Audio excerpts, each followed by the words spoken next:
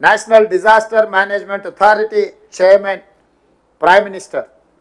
ఎప్పుడైనా ప్రకృతి వైపరీత్యాలు రాష్ట్రాలలో సంభవించినప్పుడు కేంద్ర ప్రభుత్వం ముందుకొచ్చి ఉదారంగా రాష్ట్రాలను ఆదుకోవాల్సిన పేదలకు సహాయం చేయాల్సిన బాధ్యత కేంద్ర ప్రభుత్వం మీద ఉన్నది కాబట్టి తక్షణమే ప్రధానమంత్రిని బేసజాలకు వెళ్ళకుండా మాట్లాడి కేంద్ర హోంశాఖ మంత్రితో మాట్లాడి తెలంగాణ ప్రజలకు వచ్చిన కష్టాన్ని వివరించి తక్షణమే నష్ట నివారణ చర్యలకు ఎన్డీఆర్ఎఫ్ నుంచి సిబ్బందిని తీసుకోవడం ఇట్లాంటి అన్నిటి మీద కూడా కేంద్ర ప్రభుత్వంతో సమన్వయం చేసుకుంటూ రాష్ట్ర ప్రభుత్వంలో ఉన్న అధికారులకు అందరికీ కూడా ఆదేశాలు ఇస్తూ మంత్రివర్గ సహచరుల సహకారంతో ఇప్పటి వరకు నిర్వహించినాం.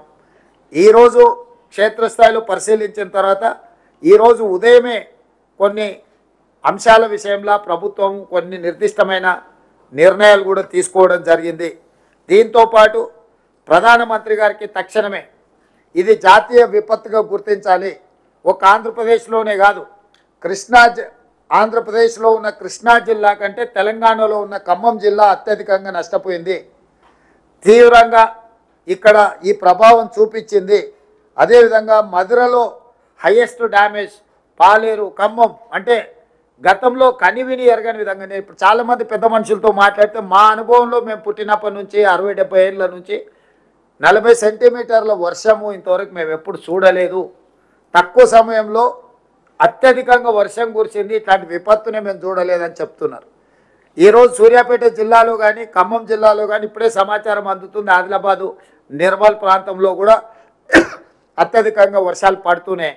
ఇవన్నీ కూడా తెలంగాణ మీద ప్రకృతి దాడి. పక్క రాష్ట్రాలతో పాటు మన రాష్ట్రానికి కూడా విపత్తు వచ్చింది. అందుకే ప్రధానమంత్రికి నేను స్వయంగా లేఖ రాసిన ఇది జాతీయ విపత్తుగా మీరు ప్రగ పరిగణించి తక్షణమే జాతీయ విపత్తుగా ప్రకటించండి.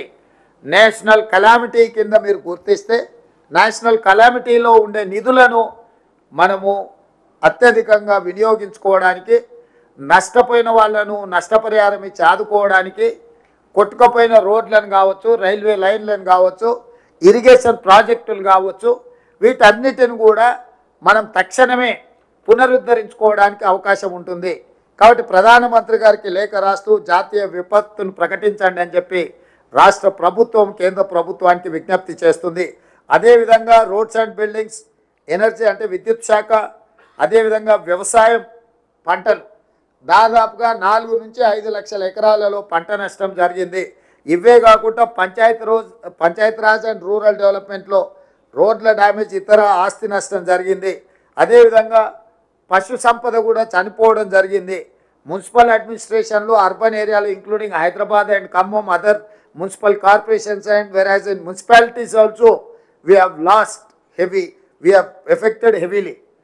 So వీటన్నిటి నేపథ్యంలో ప్రధానమంత్రి గారికి తాత్కాలిక ఉపశమనం కింద ఐదు వేల నాలుగు వందల ముప్పై ఎనిమిది కోట్ల రూపాయలు జిల్లా కలెక్టర్లతో సంప్రదించి సంబంధిత శాఖ అధికారులతో మాట్లాడి నిన్నటి నుంచి ఈరోజు వరకు ఒక అంచనాకు వచ్చి ప్రాథమిక అంచనా తెలంగాణ రాష్ట్రంలో ఈ వర్షాల వల్ల విపత్తు వల్ల ఐదు వేల నాలుగు వందల ముప్పై కోట్ల ముప్పై ఎనిమిది కోట్ల రూపాయల ఆస్తి నష్టం జరిగింది. తక్షణమే కేంద్ర ప్రభుత్వం జాతీయ విపత్తు నిధుల నుంచి తెలంగాణ రాష్ట్రాన్ని ప్రజల్ని ఆదుకోవడానికి నిధులను విడుదల చేయాల్సిందిగా ప్రధానమంత్రి గారికి లేఖ రాయడం జరిగింది. నేను ప్రధానమంత్రి గారికి విజ్ఞప్తి చేస్తున్న ఈ విపత్కర సమయంలో కేంద్ర ప్రభుత్వం పెద్దన్న పాత్ర పోషించి తెలంగాణ రాష్ట్రాన్ని ఆదుకోవాలి. ఈ తెలంగాణ రాష్ట్రం యొక్క ప్రజల సమస్యల్ని పరిష్కరించడానికి మీరు ముందుకు రావాలి. నిధులే అడగడం లేదు. మీరు స్వయంగా తెలంగాణ రాష్ట్రంలో పర్యటన చేయండి. ముఖ్యంగా సూర్యాపేట ఖమ్మము ఈ వరంగల్లో మహబూబాబాద్ కొన్ని ప్రాంతాలలో జరిగిన నష్టాన్ని మీరు స్వయంగా పరిశీలించడం ద్వారా ఇక్కడ ఉన్న నష్టాన్ని ఇక్కడ ప్రజలకు వచ్చిన కష్టాన్ని మీరు అంచనా చేస్తే తెలంగాణకు రాష్ట్రానికి మేలు జరుగుతుంది అత్యధికంగా నిధులు వస్తాయని భావిస్తూ ప్రధానమంత్రి గారిని తక్షణమే తెలంగాణ రాష్ట్ర పర్యటనకు రావాల్సిందిగా ముఖ్యమంత్రిగా నేను వారిని ఆహ్వానిస్తున్నాను ఇవన్నీ కూడా రాజకీయాలకు అతీతంగా ఇప్పుడు మనం ఆలోచన చేయాలి. తెలంగాణ సమాజాన్ని రాజకీయ పార్టీలను స్వచ్ఛంద సంస్థల్ని అదేవిధంగా ప్రభుత్వ ఉద్యోగులకు నా విజ్ఞప్తి ఒకటే. ఇది కష్ట సమయము. ప్రజలు కష్టాలలో ఉన్నప్పుడు రాజకీయ ప్రయోజనాల కోసం మనం ఆలోచన చెయ్యొద్దు. వ్యక్తిగత స్వార్థాన్ని వదులుకొని మనం చేయగలిగిన సహాయాన్ని మనం చేయాలి ఒకవేళ మనకు సహాయం చేయాలన్న ఆలోచన లేదు దేవుడు అలాంటి బుద్ధి మనకి ఇయ్యనప్పుడు ఫామ్ హౌస్లో మౌనంగా అయినా ఉండొచ్చు. విదేశీ పర్యటనలో విలాసవంతమైన జీవితాన్ని అయినా గడపొచ్చు. కానీ ఉత్తగానే ప్రజల మీద బురద చల్లడానికి ప్రయత్నం చేయకూడదు. ఈరోజు చంద్రశేఖరరావు గారు ప్రధాన ప్రతిపక్ష నాయకుడుగా పక్క రాష్ట్రంలో కూడా ప్రధాన ప్రతిపక్ష నాయకుడు ప్రజల దగ్గర తిరుగుతున్నాడు. మా షర్మిల గారు గతంలో వర్షాలు వస్తే పక్క రాష్ట్రంలో ప్రజల దగ్గరికి వెళ్ళింది.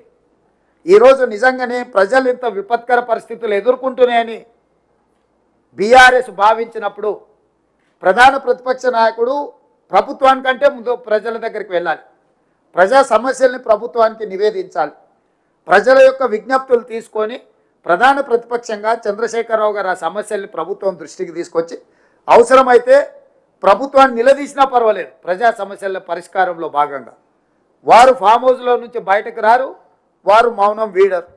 వారు ఎందుకు మౌనముద్ర వహించారో నాకైతే అర్థం కాలేదు ప్రధాన ప్రతిపక్ష నాయకుడిగా మౌనముద్ర వహించడానికి ప్రధాన ప్రతిపక్ష నాయకుడు హోదా వారికి అవసరం లేదని నేను భావిస్తున్నా.